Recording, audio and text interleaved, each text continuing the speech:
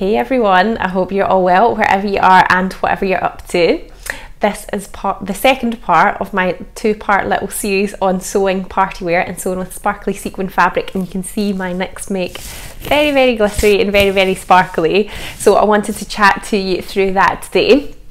So first of all, the pattern that I used is the True Bias Ogden Cami, which I have I know I've made it lots of times before, but I just feel like it's a really good, easy, basic pattern to work with, and you can do loads and loads of different things with it. So in the summer, I was making it as like a little top to be cool in in the in the autumn it's good for layering things up with. And then at Christmas time you can make it into something amazing and sparkly.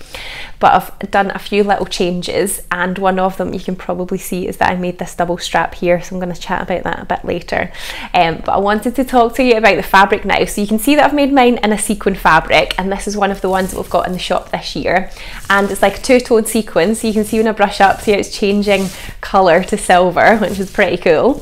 And then we've also got a black and silver combination too so of course I went for the pink because I'm sure you guys know that I love pink um, so when you come to this, this really took me by surprise. When this fabric was on the roll in the shop, I was like, you know, I like it. But when I made it into something, I was like, oh my god, this is so cool. I totally love it. Um, and uh, yeah, I was just really surprised at how easy it was to work with and it actually looks really good when it's made up. So when you come to cut this fabric out, because the sequins are a bit thicker and they're a little bit bigger, it's probably going to be easier to cut it out on a single layer rather than like folding it in half like you normally would, um, just because there's like a lot of sequins to get through basically. The backing fabric on this fabric is just like quite a fine mesh, so really all the weight of the fabric comes from the sequins at the front. So the sequins are attached to this mesh at the, kind of like at the side of the sequin, which means that the sequins sort of like flapping up and down a little bit.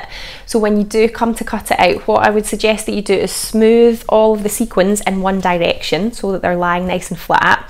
And you can either choose whether you want the top to be predominantly pink or predominantly silver or then for the black as well so just make sure that when you cut out the front and the back that the sequins are like brushed in the same direction. If I'd cut my pattern pieces out the other way around then my top would mostly look like this because the the natural position of the sequins is probably more that they're going to kind of fall down just as you like wear it and your arms and your hands sort of brush against it. Um, so yeah you could choose what colour you want to be the sort of main feature of the garment so just cut it out um, as you normally would, just use the, the same pattern pieces. Once I'd cut the fabric out, so the lining and the sequins, I then used the Prym forming tape interfacing and that effectively stabilises and it stay stitches the whole of the neckline edge and under the arms too. So that was on the sequins and the lining and it just stops it from stretching out. Then this fabric does need lined as well. So what I did was I just used exactly the same pattern pieces that you use for the front and the back and I used that to cut out a lining. And I used some of our black plain viscose fabric just because it's quite lightweight and it flops around and it feels nice and soft against your skin. So that was what I cut out for the lining. And then for the straps I instead of making like one thicker strap I just made two really thin straps and put them in just for a little bit of a change.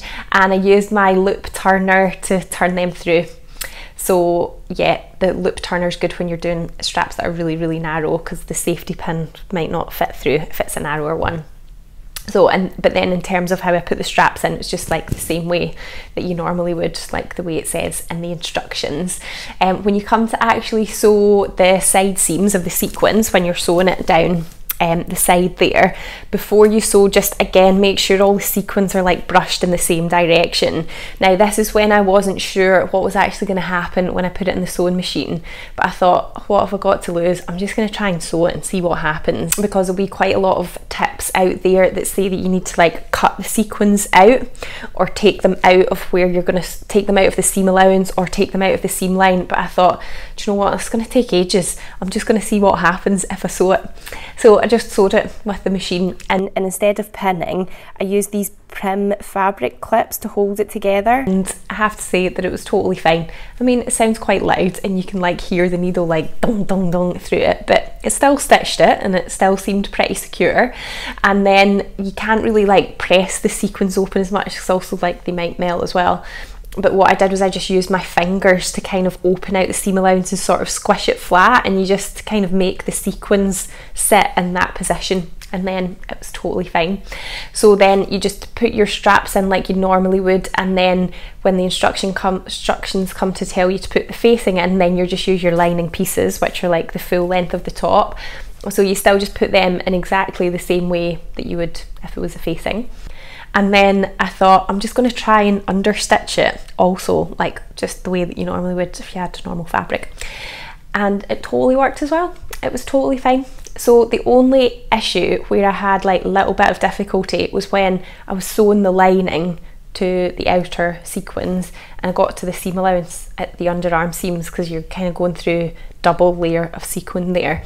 So and I mentioned this in last week's video as well, so if you watched that, you'll have heard this before. Just manually turn the hand wheel on the sewing machine when you get to that section, and it just means that you have more control and you can kind of wriggle the fabric round and sort of gently draw the needle through the fabric rather than the machine as it does automatically like dong dong dong like really forces it through and yeah it was totally totally totally fine. So the seam allowances on the inside of the sequins are just are just like left. These sequins just don't really fall off. When you when you cut it initially there'll be a lot of sequin debris but after that sort of falling off the sequins actually stay on so you don't have to finish off your seam allowances. And then when it came to do the hem I was thinking oh shall I turn it back? Shall I put the bias binding on it again? But as I'd cut it it actually just kind of looked okay. And the sequins weren't falling off so I've actually not even hemmed the sequins I just left it. And I think it's probably going to be totally fine and it just gives like a nice kind of crisp edge to it as well. And it means that there's not a sequence then catching on my clothes on the on the inside of the fabric. So that was all I did for the hem.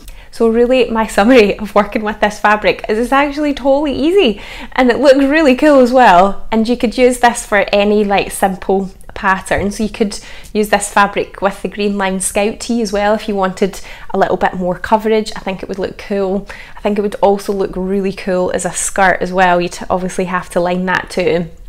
Um, I got a sequin skirt for Sophia last year, which was really similar sequins to this, so that might be quite fun as well. But yeah, don't be scared to give this sequin fabric a go. It's actually totally fine. I mean, you might want to have some backup machine needles just in case you break one, because the chances are a bit higher.